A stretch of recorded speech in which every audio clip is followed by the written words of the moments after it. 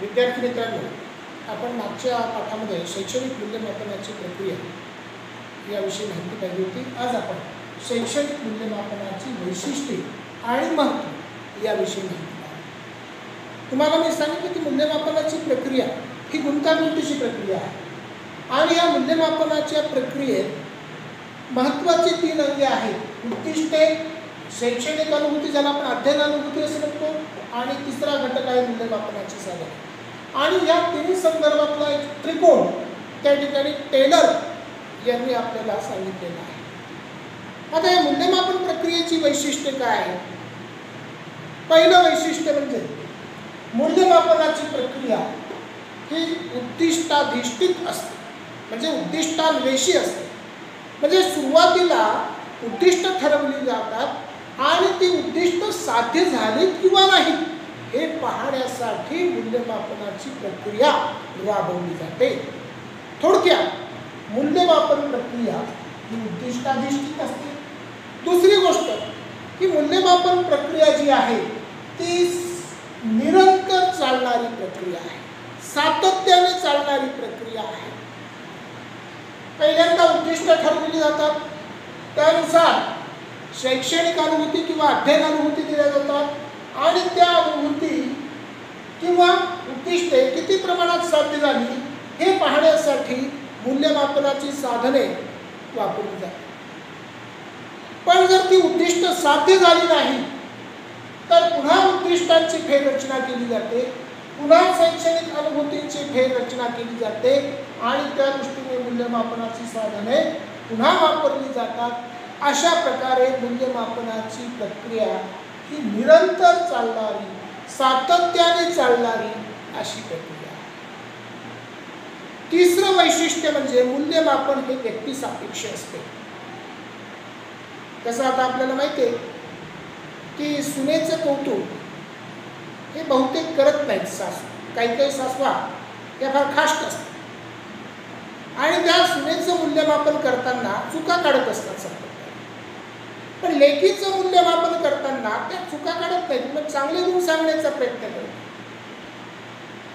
तसंच शिक्षकाच्या बाबतीतही आहे. एखाद्या विद्यार्थ्याने निबंध दिला की माझा आवडता ऋतू उन्हाळा. पण त्या शिक्षकाला तो जर उन्हाळा ऋतू आवडत नसेल तर त्या निबंध किती जरी चांगला लिहिलेला असेल त्या निबंधाला तो गुंडार कमी कर. म्हणजे याचाच अर्थ मूल्यमापन प्रक्रिया ही व्यक्तिसापेक्ष आहे. त्याच्यानंतर मूल्यमापन प्रक्रिया. पुढचं वैशिष्ट्य म्हणजे मूल्यमापन प्रक्रिया ही सर्वसमावेशक प्रक्रिया आहे. सर्वसमावेशक का म्हटलेलं आहे? कारण याच्यामध्ये उद्दिष्टांचा विचार केला जातो शैक्षणिक अनुभूतींचा विचार केला जातो मूल्यमापन साधनांचा विचार केला जातो शिक्षकांचा सुद्धा याच्यामध्ये विचार केला जातो अभ्यासक्रमाचा विचार केला जातो पूर्ण शिक्षण प्रक्रियेचा विचार केला जातो.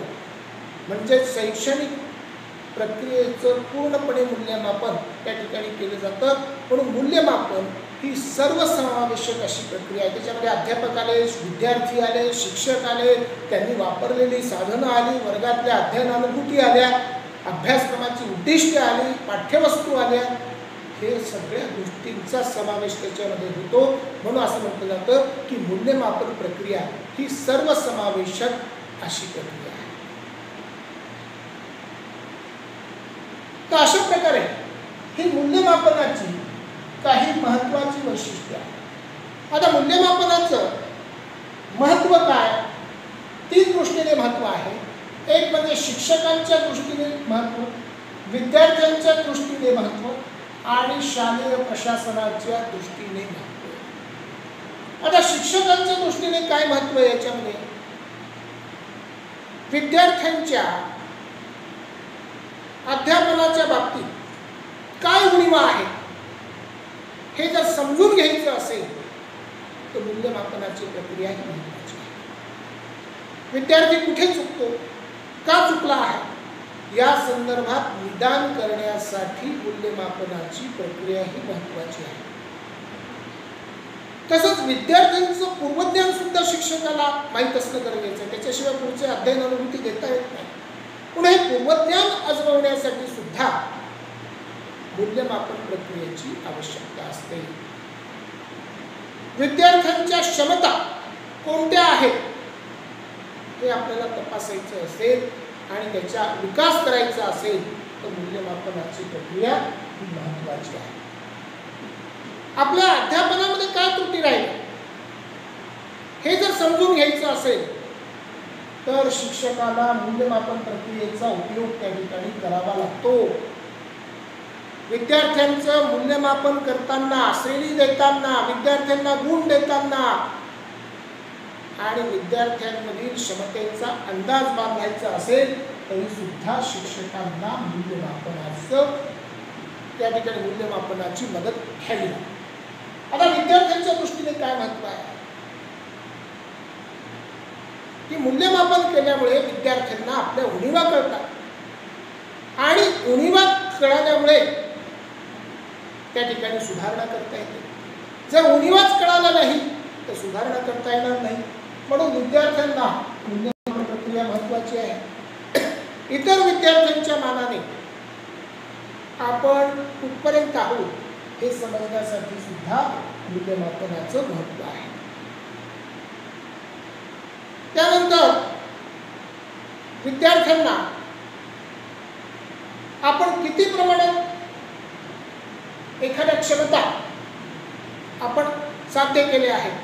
हे पाहण्यासाठी सुद्धा मूल्यमापनाची प्रक्रिया त्या ठिकाणी उपयोगी पडते त्याच्यानंतर शालेय प्रशासन. शाळेमध्ये विविध कार्यक्रम राबवले जातात. त्याच्यामध्ये अभ्यासोत्तर उपक्रम आहेत अभ्यासपूरक उपक्रम आहेत. या सगळ्या उपक्रमांमधून कोणती मूल्य त्या ठिकाणी साध्य होत आहेत आणि कोणत्या मूल्यांना त्या ठिकाणी स्थान दिलं पाहिजे हे मूल्यमापनाच्या प्रक्रियेतून कळत असतात अभ्यासक्रम राबवताना कोणत्या चुका झाल्या?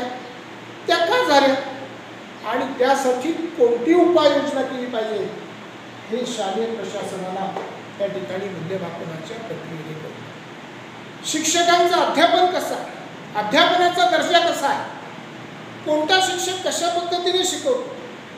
हे जर पाहायचं असेल तर शिक्षकांच्या मूल्यमापनासाठी सुद्धा या मूल्यमापनाचा उपयोग शालेय प्रशासनाला होत असतो. शाळेचा दर्जा ठरवण्यासाठी काही शाळा अ दर्जाच्या काही शाळा ब दर्जाच्या काही शाळा क दर्जाच्या हे जर वर्गीकरण करायचं असेल तर ते वर्गीकरण करण्यासाठी सुद्धा मूल्यमापन प्रक्रिया त्या ठिकाणी महत्वाची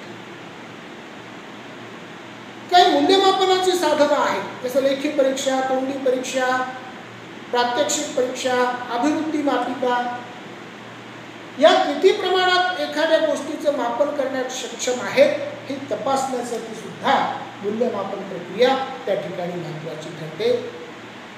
थोडक्यात मूल्यमापन प्रक्रिया शिक्षकांना उपयुक्त आहे विद्यार्थ्यांना उपयुक्त आहे शालेय प्रशासनाला उपयुक्त आहे आणि पालकांना सुद्धा उपयुक्त आहे. पालकांना सुद्धा आपला पाल्य किती प्रमाणात त्या ठिकाणी अभ्यासामध्ये प्रगती केलेली आहे त्याने आणि किती प्रमाणात त्याने उद्दिष्ट साध्य केली आहेत हे पाहण्यासाठी सुद्धा त्या पालकाला प्रत्याभरणाचा उपयोग आपल्या मूल्यमापन प्रक्रियेचा उपयोग होतो. शिक्षकांना प्रत्याभरण देण्यासाठी मूल्यमापनाचा उपयोग होतो. थोडक्यात प्रत्याभरण थोडक्यात सगळ्याच बाबींसाठी या ठिकाणी मूल्यमापन प्रक्रियेचा उपयोग त्या ठिकाणी होत असतो. अशा प्रकारे आज आपण मूल्यमापनाची वैशिष्ट्ये आणि महत्त्व याविषयी माहिती